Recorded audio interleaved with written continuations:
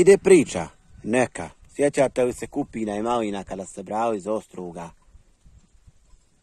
Sjećate li se?